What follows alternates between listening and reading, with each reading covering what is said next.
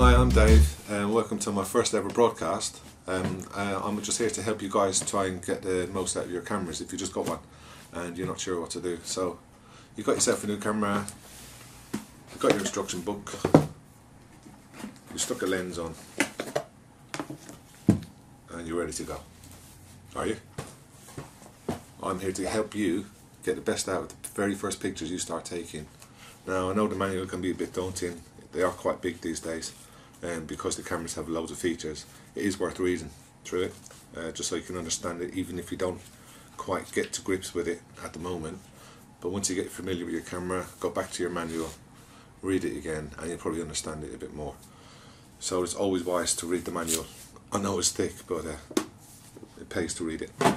So anyway you've got your camera and you're confused a little bit by all the dials and switches and buttons and all the rest of it and you've seen pictures online and you want to start taking pictures like these people are taking.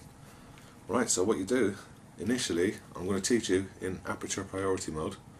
Uh, so basically the first thing you do is switch your dial if you have one of these onto A.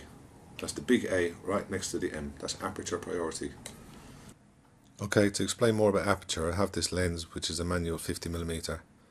At the moment you can see inside and the hole inside is very narrow. This is because the aperture on the lens is set at f22, which will be the widest that you can go on the sorry the narrowest you can go on your on your camera, usually up to f22, f32, maybe something like that.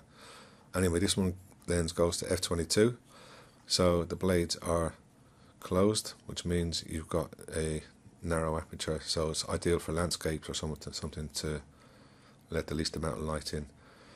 Then you can move the dial. This is a manual lens. You can move the dial. I'll move it all the way down to say f8 and you can see the hole begin to open. And this is kind of okay for portraits and stuff like that because it doesn't have so much bokeh even though it does have a little bit.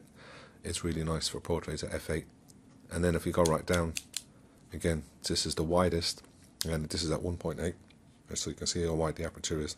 Now that allows the most light into the sensor of the camera and creates the most amount of bokeh in the background which is the blur that you get in the background Okay, so now just give you a look at the back, the sorry, the side of the lens, and you can see the numbers, the aperture numbers. So it's 1.8, 2.8, f4, f5.6, f8, f11, f16, and f22.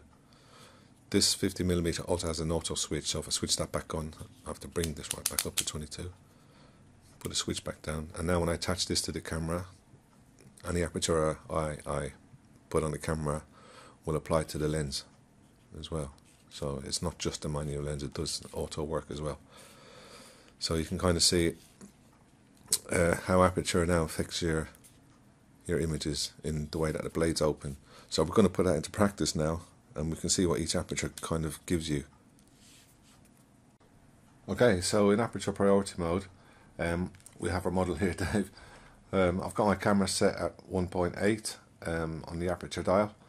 Um, I'm just going to grab focus on that there and take a shot. So now you can see that the front of the model is in focus, but the side of it is kind of soft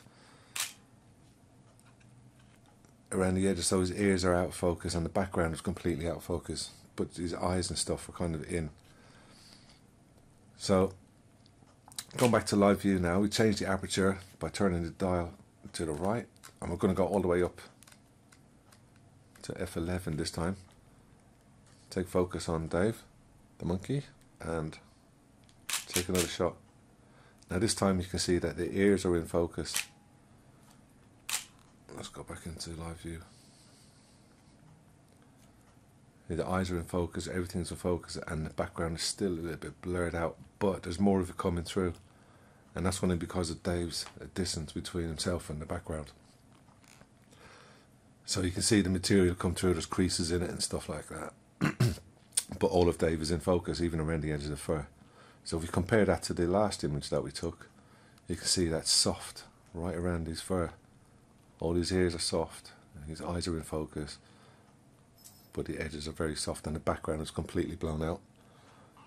Um, so we can zoom out on that now. You can see, so it's pops Dave off the background a little bit because of his um, the aperture on him at 1.8. And again, we compare it to the last one and we see that the aperture here was at f11 and there's more of the background is coming into focus and all of Dave is in focus including his ears. So that explains aperture priority really. Um, what you want to do is go out and practice. Keep your camera in, on the A mode. If you want loads of blur and bokeh in the background you want to put at the lowest setting. And if you want everything in focus you want to bring it all the way up to its highest for the lens usually f22 but it, it does go beyond on some lenses as well but f22 is the highest on this one. So loads of bokeh and less bokeh. Pretty much explains it in layman's terms. So go out and practice. That's all I do. Thanks for watching. Uh, you've been great and uh, hopefully I'll see you back here next time for a shutter priority. Take care. Bye bye oh and please subscribe